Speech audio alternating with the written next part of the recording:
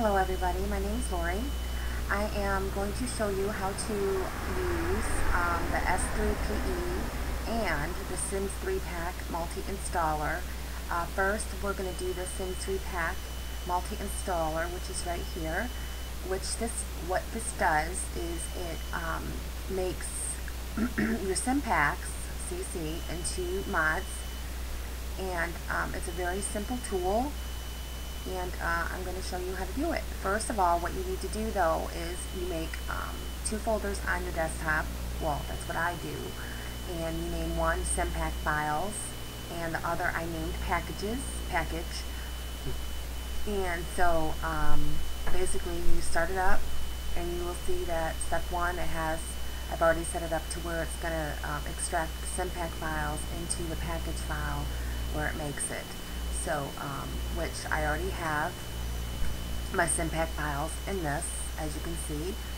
And so I'm just going to go ahead and close that out.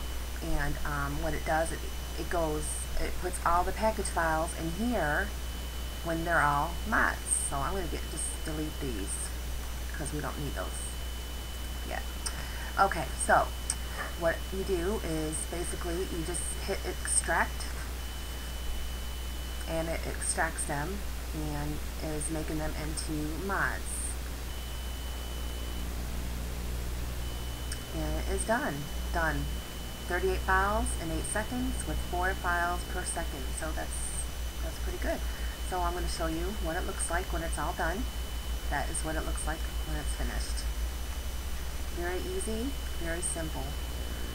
And uh, next video, I'm going to show you how to use the S3PE. So um, I hope if you have hope this is very easy for you to understand.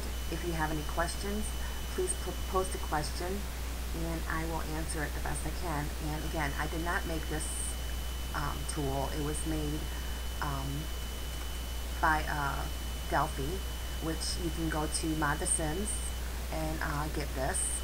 And I will also post a link on the bottom so you can get to it pretty quick.